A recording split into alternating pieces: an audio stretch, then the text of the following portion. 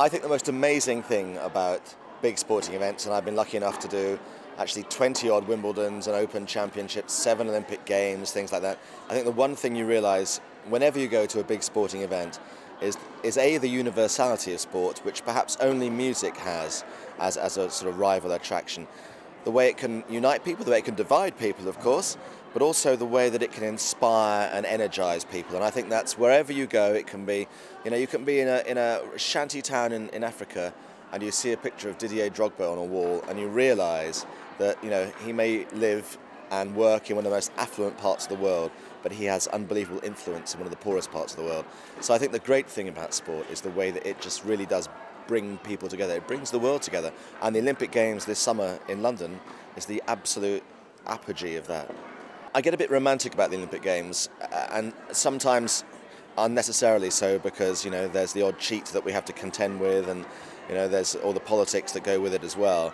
But I think the, the fantastic thing about the Games is to go to the Olympic Village and just look around you. Wherever you look, there's somebody from some part of the world in the furthest point of South America, the tiniest point of Africa, and they're there because they're the best in their country and they're so proud to be there. And I think, honestly, it's, it's life affirming. I think it, it gives you a real buzz to realize that from Equatorial Guinea, Guinea to Papua New Guinea, the world is there and the world is watching. I got into sport because both my parents were sports mad. They both played a whole variety of sports at a very good level. I think in those situations, you know, you either rebel and have no interest at all, or you embrace it, and I embraced it and it's kind of been at the heart of my life really. I, I, can't it's one of those strange things that, you know on a saturday to me all that anybody with any intelligence would ever do on a saturday is be involved in sport either play it or watch it or be involved in some some manner. And i, I can't imagine my weekends without some kind of sporting involvement. I played rugby for uh, do the maths here 39 seasons goodness me uh, uh, my dad, it was his, it was his abiding passion, and it's it's been my abiding passion, you know, for four decades or more. Or more.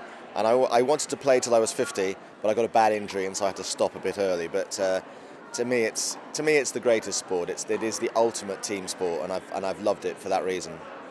There are so many reasons why sport is important for children. You know, some are blindingly obvious in terms of health, but the other things I think are about how you treat other people especially if you play team sport, team sport forces you to think about other people because other people impact on you. And that's a great skill to have in life. And I do think one of the most interesting things of all is you can often tell, people will always say you're being a bit pompous when you say things like this, but I think you can always tell when you are, if you're like interviewing people for jobs, whether they have any kind of sporting background and any kind of sporting empathy because they actually think about other people. They understand the dynamic of teamwork. And I think it's very hard to do that in a school environment if you're not involved in something to do with sport. I queued to get into Wimbledon 40 years ago, and the idea that 40 years on I'd be presenting Wimbledon on TV is, is still a bit of a joke, really, for me. I, I just love it. I just love the place, I love the atmosphere, I love the game.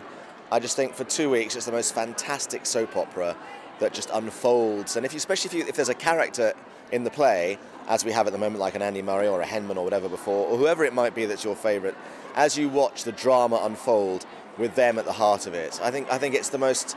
It, it, it, you know, it lifts you up and it takes you down, and at the end of it, uh, uh, on the last day of Wimbledon, when when you know the, when the, the cover's gone for the last time and the men's singles champion is, is announced, I always feel very very deflated I feel that you know another year has ended and we have to wait another 50 weeks to do it again, and, and, and you know it can't come soon enough.